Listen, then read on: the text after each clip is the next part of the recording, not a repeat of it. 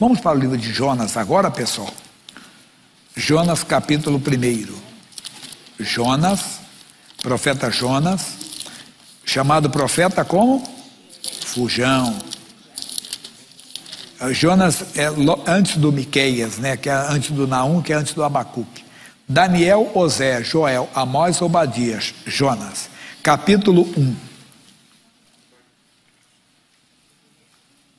Diz: E veio a palavra do Senhor a Jonas, filho de Amitai, dizendo: Levanta-te e vai à grande cidade de Nínive e clama contra ela, porque a sua malícia subiu até mim.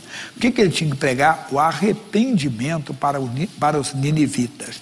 Mas conheça um pouco da história. Nínive, os ninivitas eram cruéis, adversários dos israelitas. Jonas era um profeta de Israel.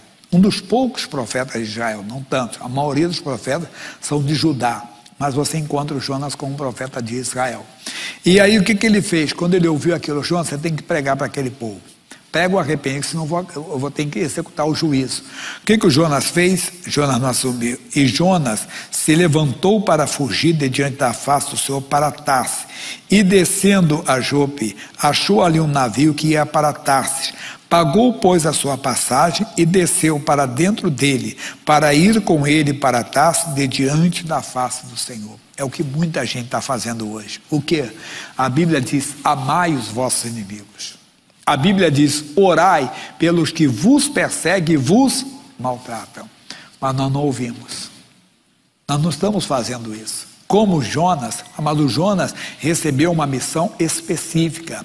A nossa missão é para todos. Deus está dizendo aqui para, para mim e para você, Mateus 5, 44. Eu, porém, vos digo: amai os vossos inimigos, orai pelo que vos persegue e vos maltrata. Mas você faz como ele desce para Jope.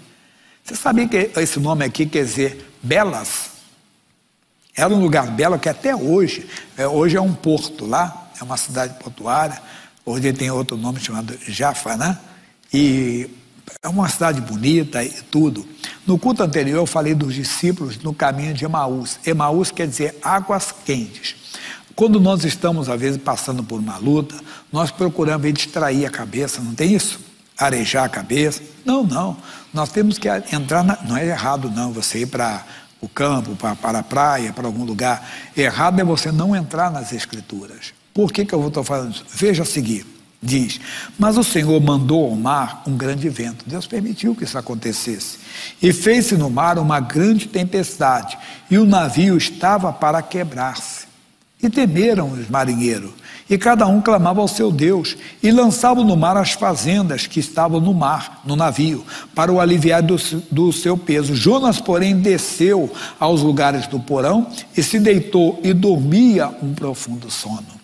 E o mestre do navio chegou a ele e disse: Que tens dormente? Levanta-te, invoca o teu Deus.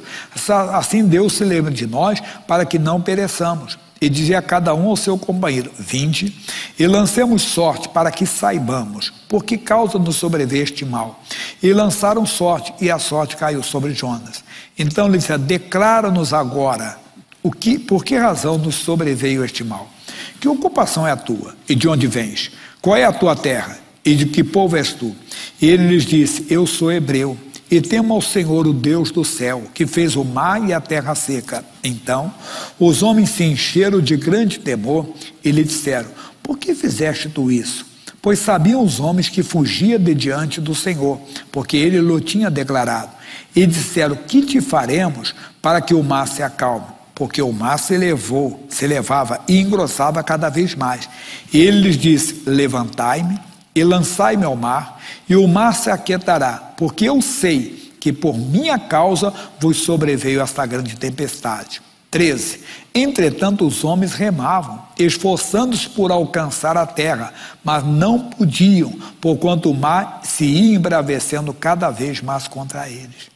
Quem sabe você está enfrentando uma tempestade financeira, saúde. Cadê o Deus que cura? E você diz, pastor, eu tenho fé para ser curado. E cadê o Deus que socorre na hora da aflição? Você sabe uma coisa? Vai comigo agora no, no último livro da Bíblia, Apocalipse 2, 4.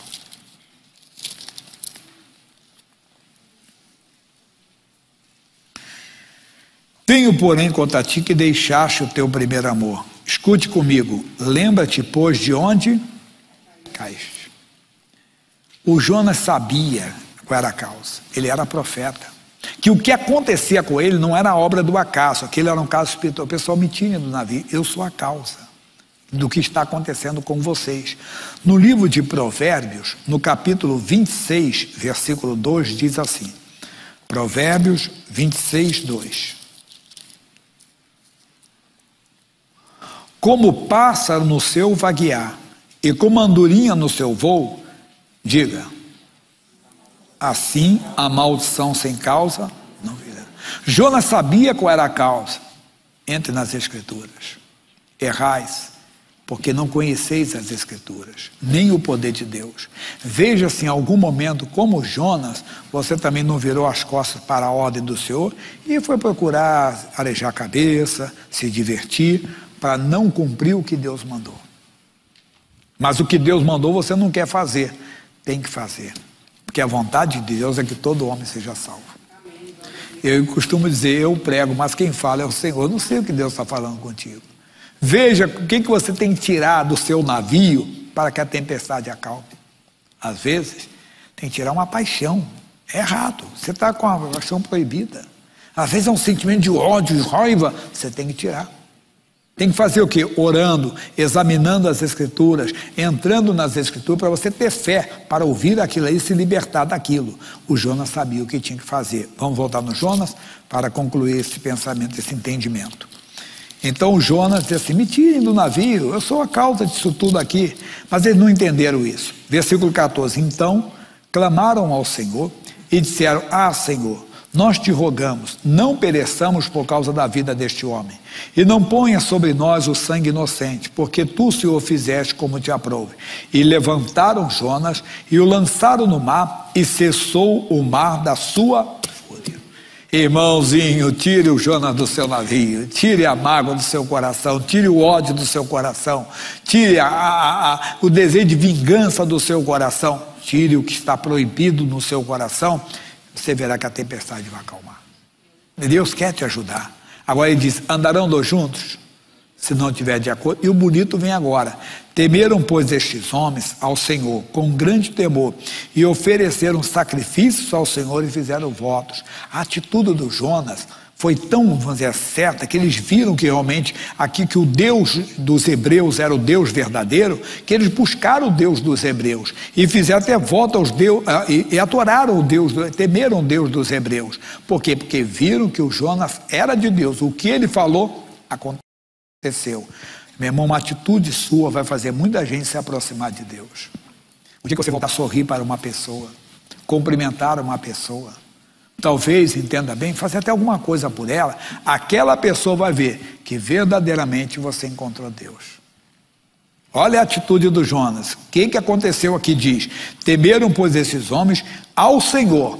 Quem é o Senhor? O Deus dos Hebreus e de, com grande temor e ofereceram sacrifício ao Senhor e fizeram um voto que no passado seria hoje fizeram um louvor a Deus, ofereceram um sacrifício de louvor. Deparou, pois, o Senhor um grande peixe para que tragasse a Jonas e esteve Jonas três dias e três noites nas entranhas dos peixes. Aqui eu dei uma mensagem um dia mais profunda. O que é? Deus tem um milagre para você, irmão. Deus tem. Deus tinha um milagre. Se eles não tiram o Jonas, todos iriam perecer, todos iriam morrer. Tiraram Jonas e Deus cuidou do Jonas. Deus cuida de você também. Não fica com medo de fazer, praticar o que Deus está falando. Deus vai cuidar de você. Amém? Nós vamos participar da Santa Ceia. Vamos para 1 aos Coríntios, capítulo 11. O tempo passou muito rápido. 1 aos Coríntios 11, 23. Ah, Jesus é bom, pessoal. Porque eu recebi do Senhor o que também vos ensinei. O que você recebeu hoje foi do Senhor. Que na noite em que foi traído, o Senhor Jesus tomou o pão. E tendo dado graças, o partiu e disse: Tomai, comei, isto é meu corpo que é partido por vós. Fazei isto em memória de mim. Semelhantemente, também depois de tear, tomou o cálice, dizendo: Este cálice é o novo testamento no meu sangue. Fazei isto todas as vezes que beberdes em memória de mim. Comentário rápido da mensagem ainda. No Velho Testamento era olho por olho, dente por dente. Mas essa era por causa, essa lei é por causa dos homens, porque Deus queria salvar os ninivitas, que Deus salvou ali. Deus não quer destruir ninguém. A vontade de Deus é salvar. A vontade de Deus é que todo homem seja salvo. Na velha aliança, o pecado era coberto pelo sangue de um animal. Na nova aliança, o pecado é tirado. Quando Jesus foi visto por João Batista à margem do Jordão, João 1,29, ele disse: Eis o Cordeiro de Deus que tira o pecado. Não fica um pecado, não. Ele diz: Porque todas as vezes que comeres este pão e beberes este cálice, anunciais a morte do Senhor até que venha. Portanto, qualquer, eu ou você, que comer este pão ou beber o cálice do Senhor indignamente, será culpado do corpo e do sangue do Senhor. Examine-se, pois, o homem a si mesmo, e assim coma deste pão e beba desse cálice. Se examine, faça uma oração, Deus. Eu não quero, Jonas, eu não quero nada que o Senhor condene no meu coração. Deus, eu quero um coração limpo. Onde eu tenho errado, o Senhor me perdoa, Ele vai te perdoar. Se tiver que liberar o perdão, Deus, que a pessoa se arrependa, porque o meu perdão eu já libero. Acabou. Não fique com nada no coração, limpe completamente seu coração. Agora, se você ainda não aceitou Jesus, você não deve participar da ceia. Por quê? Porque a Santa Ceia não é da igreja, é do Senhor. Se Jesus não é Senhor da sua vida, não participe. Mas ao mesmo tempo, se no coração você crê que Jesus morreu pelos seus pecados, se no coração você crê que ele ressuscitou dos mortos, que Jesus me salva, você poderá não só participar da ceia, como entrar no céu também. Ah, pastor Jaime, mas não tem que haver uma preparação? O ladrão na cruz se preparou? Jesus disse: Hoje estarás comigo. Hoje você poderá tomar da Santa Ceia também.